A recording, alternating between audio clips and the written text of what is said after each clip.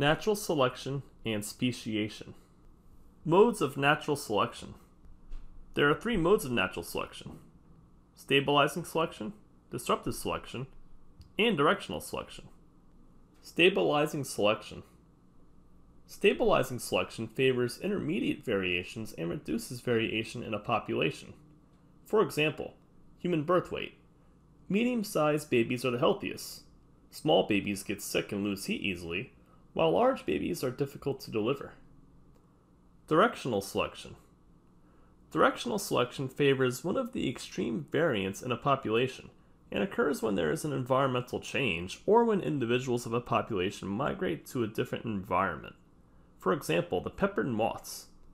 On dark tree bark, there's natural selection that favors dark over light colored moths. Disruptive selection and speciation. Disruptive selection favors the extreme and leads to increased variation. Speciation occurs when this variation is so great that a new species is created. It results in the diversity of life forms. For example, bird seed and beak size. If only small and large seeds are available, natural selection favors members of the population with extremely small or large beaks. Species characteristics. There are two main characteristics that describe members of a species. Morphological, members of a species have a similar structure and appearance. Biological. The members can interbreed and produce viable, fertile offspring. A horse can breed with a donkey and produce a non fertile mule. A horse and a donkey are in different species. A horse has 64 chromosomes and a donkey has 62. The mule inherits 32 horse chromosomes and 31 donkey chromosomes for a total of 61. This makes it difficult, if not impossible, to breed. Gradualism and punctuated equilibrium. Most evolution is gradual, taking hundreds of thousands or millions of years to occur, known as gradualism. But in some cases, new species can appear or disappear suddenly. This type of evolution is known as punctuated equilibrium. The sudden appearance or disappearance may not uh, be as sudden as thought.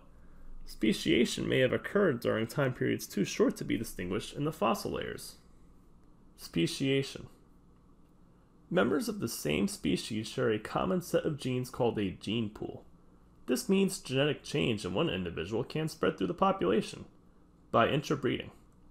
Speciation is when a new species forms when members of a population becoming reproductively separated from one another until genes can no longer flow between them.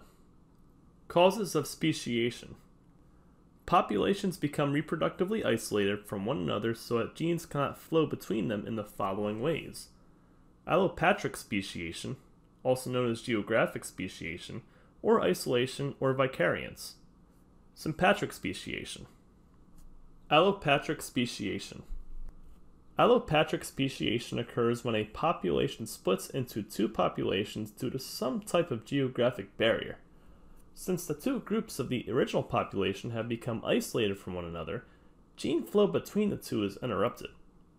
The original gene pool has been divided into two separate gene pools.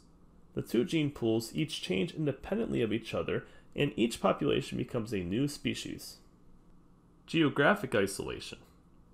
Geographic isolation occurs when two populations are separated by geographic barriers, like mountains or bodies of water. In the summer of 1995, at least 15 iguanas survived Hurricane Marilyn on a raft of uprooted trees, but left their home.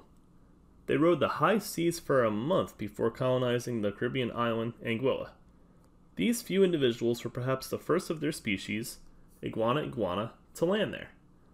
A geological barrier has been placed between members of the population that stayed behind and the ones that landed on Anguilla no mating can occur between the separated populations. As new mutations occur in each separate population, they will become genetically different. Sympatric speciation. In sympatric speciation, there is no geographic barrier that separated a population. Therefore, the members of a population remain in contact with one another. Speciation evolves due to factors other than geography. Four types will be shown behavioral isolation, temporal isolation, mechanical isolation, and gametic isolation. Behavioral isolation. Behavioral isolation occurs when two populations are capable of interbreeding but have behaviors that prevent mating. Some species of crickets are physically identical, but can be distinguished by the fact that females will only respond to the mating songs of males of their own species. Males of other species are ignored. Flies on an island. A population of fruit flies on an island has three food sources mangoes, oranges, and bananas, and is an example of behavioral isolation. Each fly shows a preference for one of the three foods. Because of this, flies that like bananas spend most of their time with other flies that have that preference. If these flies only breed with those who prefer the same fruit, whether mango, orange, or banana, they could eventually lead to a new species, even if they share the same island, due to behavioral isolation. Temporal isolation. Temporal isolation occurs when two different populations mate at different times. Two populations of plants may produce flowers in different seasons, making mating between the populations impossible. For example, winter pansies and summer pansies. There is a season. A mutation causes a few members of a flower plant population to bloom a month after the rest of the population. Flowers are responsible for producing the sexual cells of these plants. This is temporal isolation. Since these plants are producing gametes after the majority of their population, they have become isolated and will not be able to mix their genes with them. Over time, they can become their own species. Mechanical isolation. Mechanical isolation occurs when the sexual organs between members of closely related, yet different species do not fit together. The closely related species genotypes would drift further apart as their genes will not mix. This is an evolutionary advantage, as breeding between different species can result in offspring sterility. The offspring would not pass on their genes, but would consume resources. For some different and physically incompatible species of fruit flies, interbreeding can result in injury or death. Bush babies. There are 20 different species of bush babies, also called galagos, in Africa. Each species has different genitalia, so they cannot mate with each other. The differences are so great that they won't produce any offspring. Gametic isolation. Various organisms, such as sea creatures, mosses, ferns, and invertebrates, release their sperm and eggs into the environment. Species other than their own will not react to the sperm and eggs.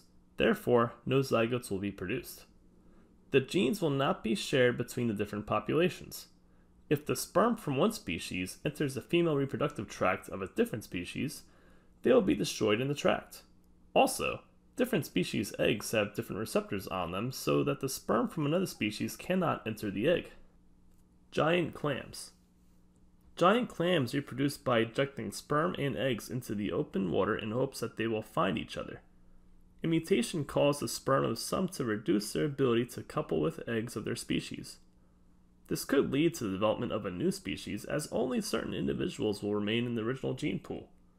In addition, other marine animals of different species will also eject their gametes into the water.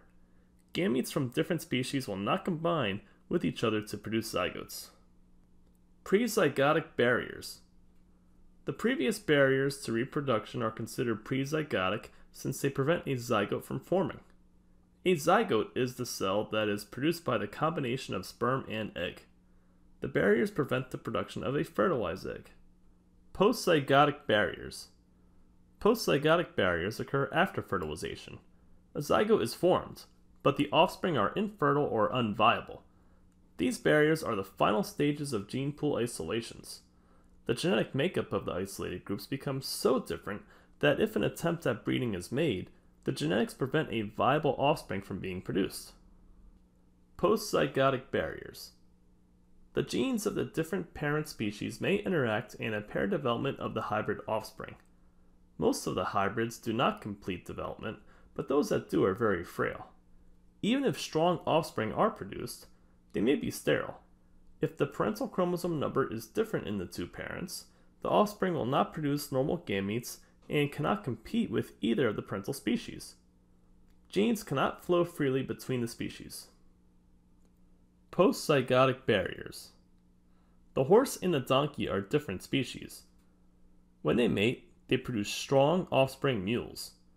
But mules are sterile and cannot produce offspring.